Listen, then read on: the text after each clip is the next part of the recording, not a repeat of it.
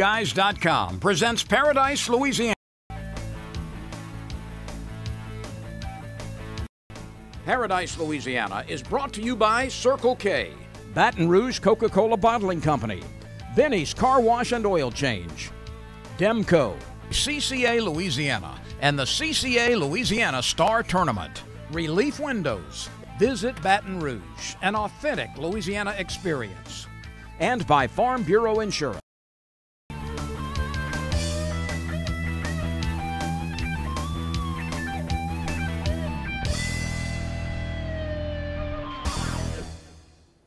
Welcome to Paradise, Louisiana. This week's edition we're coming to. We're finally getting back with BBQ guys right here at the showroom and warehouse.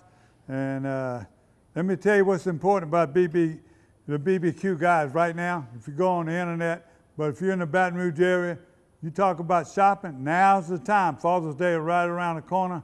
Uh, they inundated. They got people walking through right now. It's unbelievable. But if you never visit this showroom, and see some of the things. We also got a fishing segment coming from them. I made a trip to the Louisiana Wildlife and Fisheries meeting. Uh, there was some controversy on there having to do with the pogie boats or the menhaden boats. Uh, there was some arguments on both sides. I got a little B-roll, uh, and uh, I did interview one of the big pushers behind. I don't know if they're against it, but they need to, we need to do a study. We need to go out there and really get the truth and get some information what's happening over there, especially Grand Isle and Fourchon area right now. We're getting a lot of complaints from fishermen, so uh, we, are going to have a video, we're going to have a little interview with David Cresson for CCA. Also, we got some other things that CCA involved in. We won't talk about them. It's unbelievable. But their website and what's going on and what you can do and, and uh, games you can play. It, it's just unbelievable. It's too much for me to talk about right now. I got a tournament and rodeo report. And uh, I got some calls that came in and the pictures. I, I, did a little survey on, on the damage to some of the landings out in South Louisiana, especially out where I live, Island Marina. I had some water under my camp, but looked like, thank God, we, we dodged another bullet. Uh, all over. Uh, the flooding here in Baton Rouge didn't materialize, all the rain. So uh, this again, let's keep in our prayers. God bless Louisiana. Keep on blessing. Stay tuned. More Paradise, Louisiana.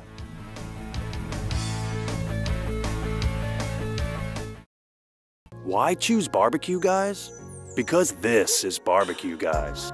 Not only do we have the largest online selection of grills and outdoor furniture, top-notch customer service, affordable financing, and 3D design services to help you tie it all together, but we also know what it is you love most about outdoor living. Time spent with family and friends. Combined with our expert advice, you'll have everything you need to design your dream outdoor life. Stop by our showroom today. I'm Brett Favre. As a quarterback in the NFL, if I didn't stay focused, I ended up on my back or worse. Even the smallest distraction could make a good play or offensive drive come to an end. When you're in a car, the smallest distraction could end much more than a drive. It could end someone's life.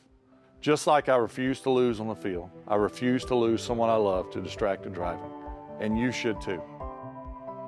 Focus on the road. Don't drive distracted. A message from Farm Bureau Insurance. It's that time of year. CCA Star Tournament time.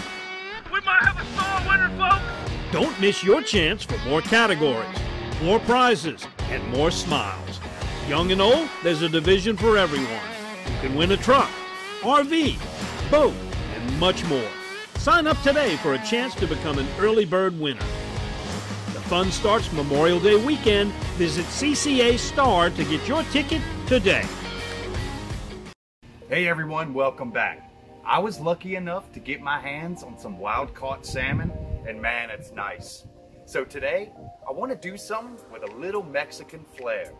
So let's grill up some blackened, wild caught, chili lime salmon on my Blaze Pro grill. Let's go. I'll go ahead and turn the grill on to high heat and set the cast iron in so that it can preheat as well. I'm adding just a little smoke for another layer of flavor. You can choose to do this or not, it's not detrimental to the recipe.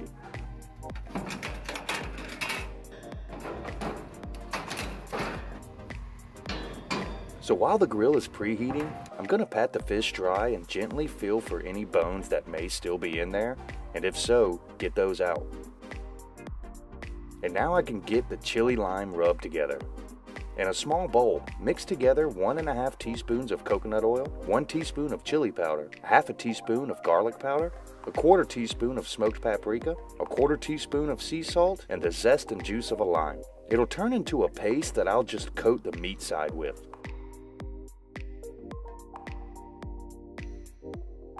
So by this time, the grill should be well preheated. Man, I love the aroma you get from quick searing some lemon and limes. Again, this is just for my garnishment, so you can choose to do this step or not. Now time to put the salmon on. I'll cook this meat side down first for about three and a half minutes for a filet this size. Then another three and a half minutes on the skin side to fully cook the fish. Man, salmon is super awesome and healthy. It is rich in omega-3 acids, uh, probably one of the most nutritious foods on the planet. Good for decreasing inflammation, lowering blood pressure, also a great source of protein, and it's just super versatile while cooking. Man, it's looking and smelling great. Can't wait to try it. I think she smells salmon.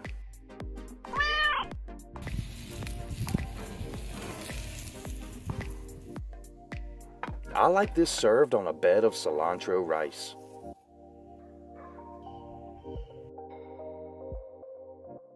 Once plated, I'll squeeze a bit more lemon or lime and it's ready to devour.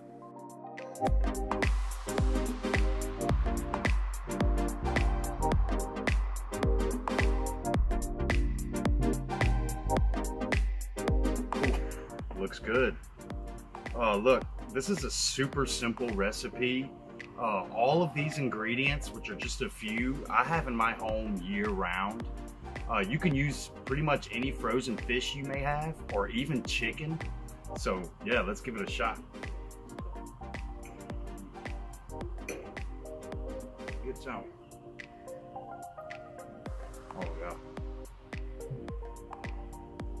That lime, I threw a little cilantro in the in the bed of rice. That is delicious. Oh yeah. Good stuff. Mmm. Really good. Thanks for watching today. Be sure to subscribe to our YouTube channel and hit that bell for notifications. See you next time.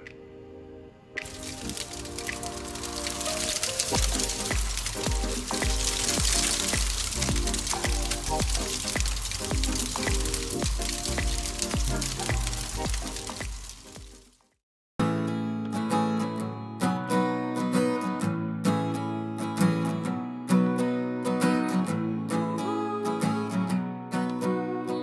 best part about being a member of a Touchstone Energy Cooperative is that it's your Touchstone Energy Cooperative.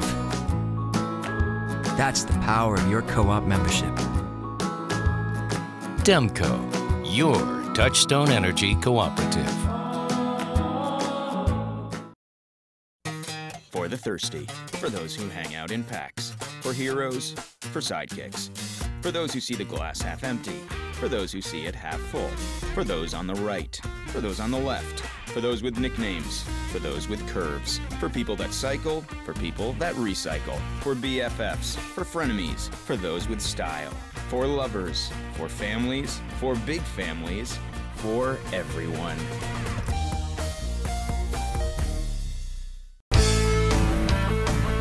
Welcome back to Paradise, Louisiana, and BBQ.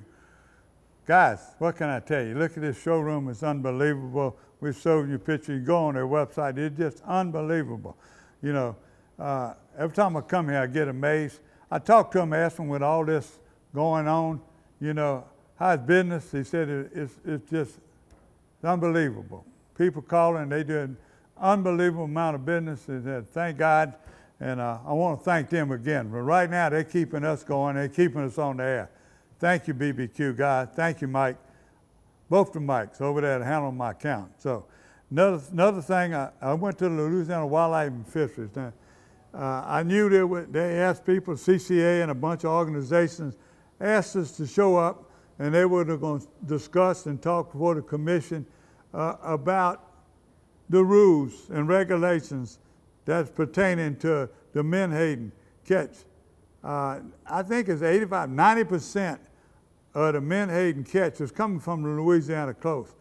Uh, they gave reports that I don't agree with. I took pictures. I was trying to watch and listen, but uh, some of it was just ridiculous. Let me tell you who I seen some. I'm just going to name a few. There's a bunch of people there. People went to the podium and talked. A lot of them did, uh, both ways. But but the biggest ones over there, there were complaints or concern. Let's put it that way. They want better better study being know how much the bycatch, what's affecting them. Uh, is it taken away from recreational fishermen? Uh, Menhaden are also one of the big food sources for speckled trout, redfish, and all the game fish. So if you go offshore, if you're fishing what? What you use them for bait most of the time? Well, snapper or whatever.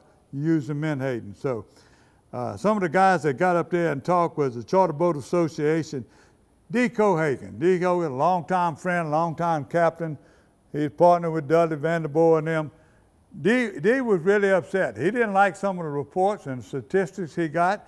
He got up and talked in them, but the bigger one I was going to tell you is CCA, there are people from CCA, recreational fishing. fishermen. There was a lot of people got up and talked.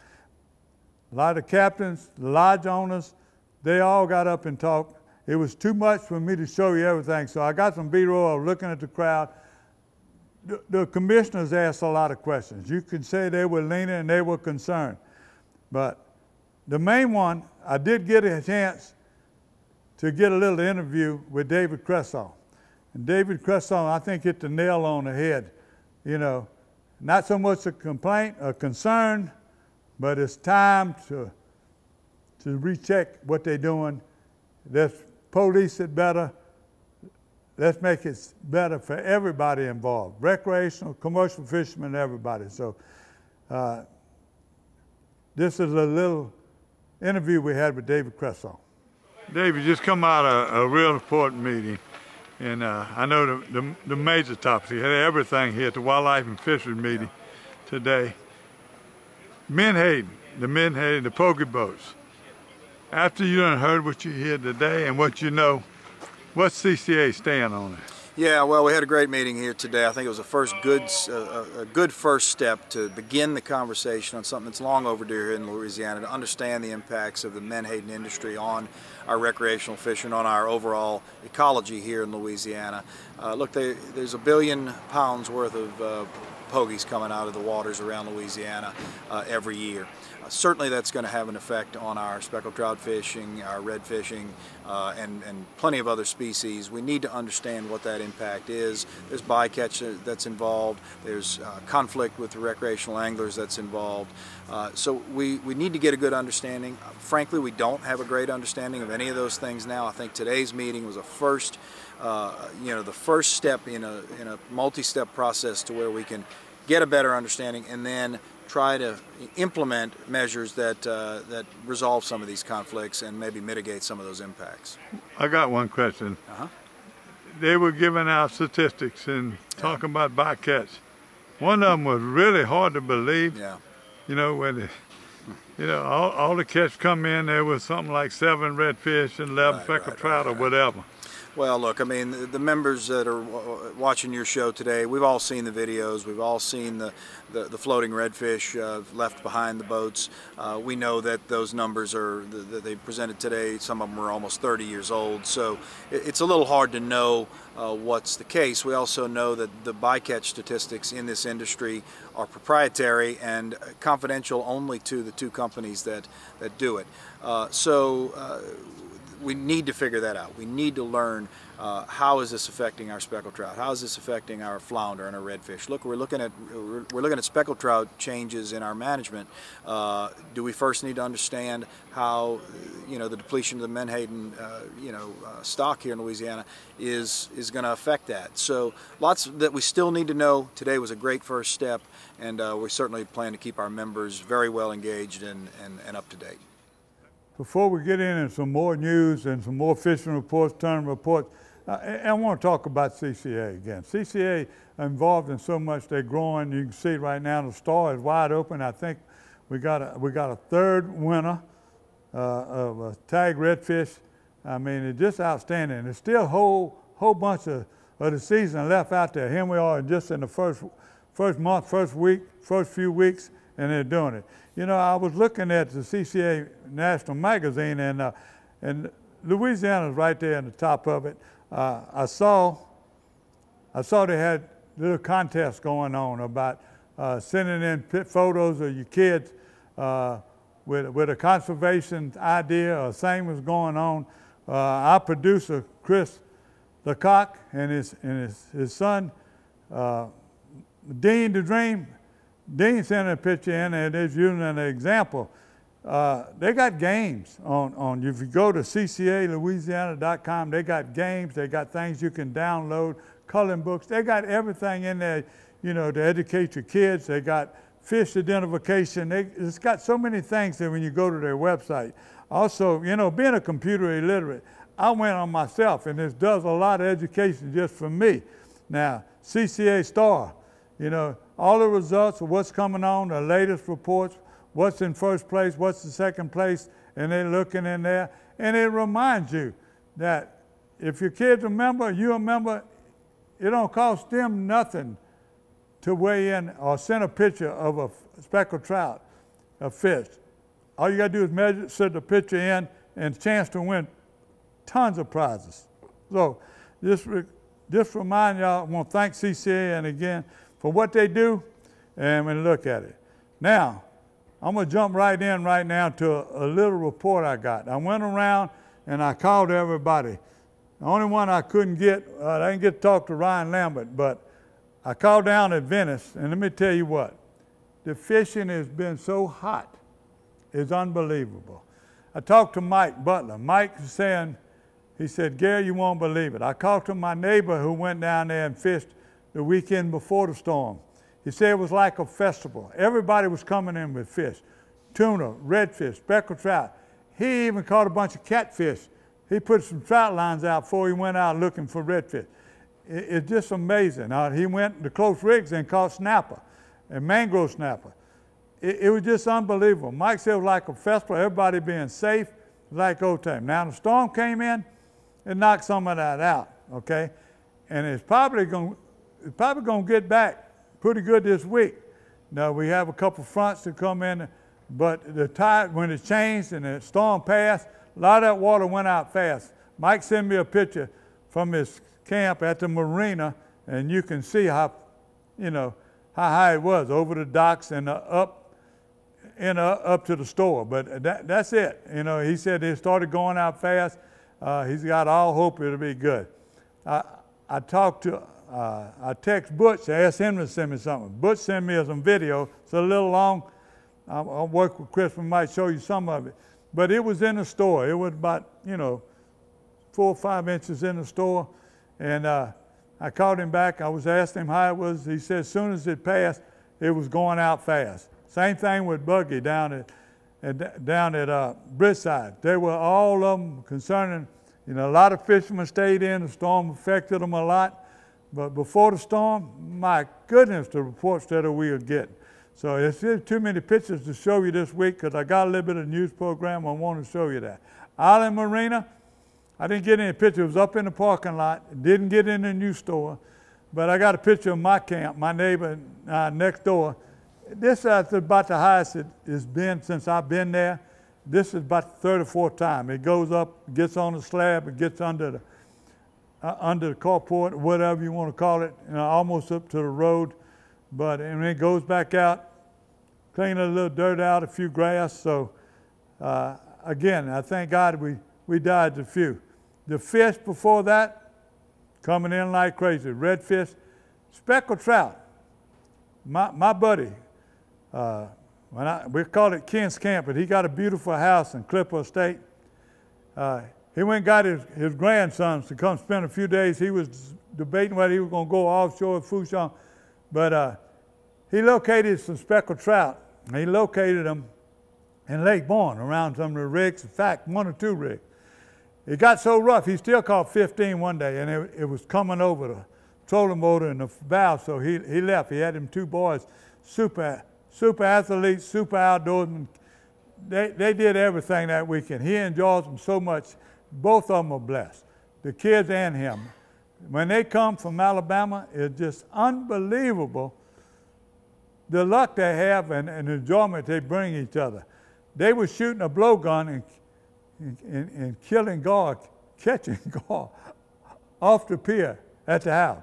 Then they've been having a nutria problem. Them boys settled that. They killed five nutria with, with a, a pellet gun. All right. Then when they were out fishing, they caught drum. And then that last day, they caught 43 speckled trout, all in the two to three pound range, uh, drop shotting. They were fishing in, in Lake Borgne. So uh, Ken, you blessed. You blessed. You bless me all the time. Uh, Charlie, you and your older brother, you had to go back. Y'all playing sports.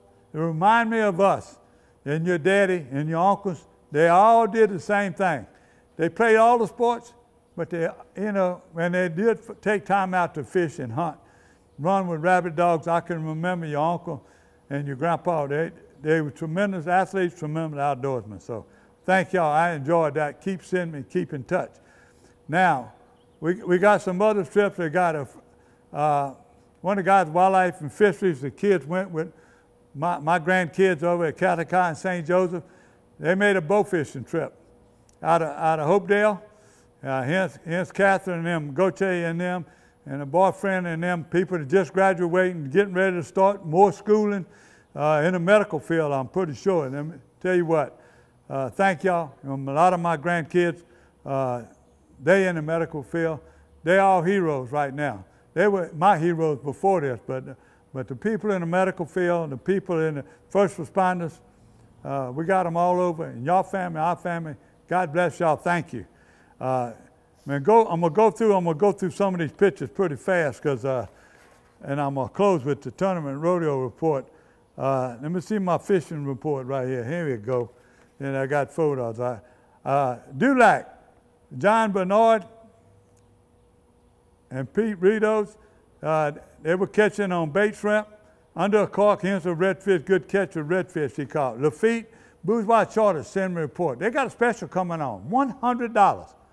$100 they're knocking off uh, their reports for staying in the cabin or one day, whatever. You call them right now, they own a lot of fish being caught. Uh, Theophile's son, uh, junior, uh, uh, they run, they got all the same captains. Uh, the lodge, you know where it's at, contact it. NewOrleansFishing.com, you call them, or, or Bourgeois Fishing. Uh, Ed Toops, now this is a sort of, it's a freshwater report. Ed Toops in, out of Luling, he's fishing the Mississippi River.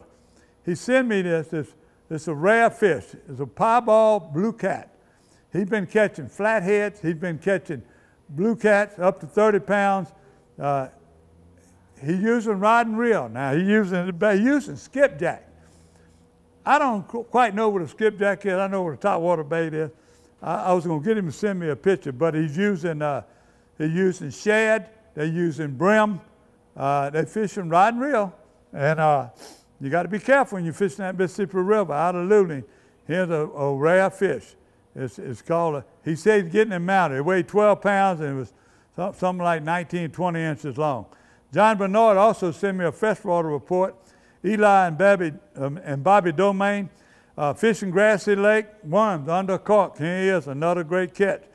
Toledo Bend, my good friend and cream representative and fireman, one of the fire chiefs up in Alexandria, is Mike and Linda Clark. Uh, they've been killing them big sac-a-lait. Now, let me tell you what, they slingshot sometime under the piers. He didn't say what they're doing it. But his best bait's been a cream lure. They come out, there's a little bitty, a little bitty cream frog. It's an inch and a half long. They fished it on a sac-a-lait jig. And another one was, was this, this crappie shad. Okay, they showed some colors. So he sent me some pictures. I asked him to do it. He, he thinks it's rare, but we got a lot of them over here. These black crappie, they're so big coming up. They call them mohawk. They got a back, a, a black strip down the back. I was told that was where they are. Why choose barbecue guys? Because this is barbecue guys. Not only do we have the largest online selection of grills and outdoor furniture, top notch customer service, affordable financing, and 3D design services to help you tie it all together, but we also know what it is you love most about outdoor living time spent with family and friends. Combined with our expert advice, you'll have everything you need to design your dream outdoor life. Stop by our showroom today. I'm Brett Favre. As a quarterback in the NFL, if I didn't stay focused, I ended up on my back or worse. Even the smallest distraction could make a good play or offensive drive come to an end. When you're in a car, the smallest distraction could end much more than a drive. It could end someone's life. Just like I refuse to lose on the field, I refuse to lose someone I love to distracted driving. And you should too. Focus on the road. Don't drive distracted. A message from Farm Bureau Insurance. Hey, welcome back to Paradise, Louisiana, and this is the one our tournament and rodeo report. I'm gonna go back now to Lies and Lunkers. They've been giving their tournament report every month. They still they're back at it. Uh, the first place was uh, uh, Jimmy Doris and Cade Wagner. They had 11 pounds, 49 pounds. Uh, second place was Mark Moore and Charles Dozat, 10, 7, 3. You notice these weights ain't but less than a pound separating them. Uh, Jimmy, it's Timmy Dickens. I want to say Jimmy Dickens. That's the player, huh? Uh, Timmy Dickens and Jay Breland had 9.79. Steve Hadley and Dwayne uh, Cambry, uh, Cranberry, yeah, got 9.62. Uh, Steve Hadley, I told you, and, and, you look at these weights again, and Big Bass was Nick Richard at 3.51. Uh, if you got something coming up, be sure, way in advance, email me, Gary Paradise, Louisiana. I'll be sure to put it on there. So I don't have a whole lot of fishing video, but we got a good, good segment. Thank you for watching Paradise, Louisiana. Thank you again, BBQ guys. You're saving the day. Thank you. And all our sponsors, support them. They stuck with us doing all this. Thank y'all for sticking with us. Still a number one watch outdoor show in Louisiana. Thank you again. God bless Louisiana. BBQGuys.com presents Paradise, Louisiana Paradise, Louisiana is brought to you by Circle K, Baton Rouge Coca Cola Bottling Company, Benny's Car Wash and Oil Change, Louisiana Fish Fry Products, Demco, CCA Louisiana, and the CCA Louisiana Star Tournament, and by Farm Bureau Insurance.